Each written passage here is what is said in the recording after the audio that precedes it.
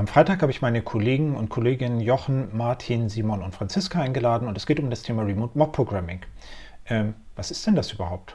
Mob Programming ist wie Pair Programming nur mit dem ganzen Team, aber es funktioniert dann doch ganz anders und viel besser. Genau, weil einer tippt und die anderen denken und dabei erlebt man das ultimative Teamerlebnis. Genau, und wir wollen eigentlich nicht mehr anders arbeiten.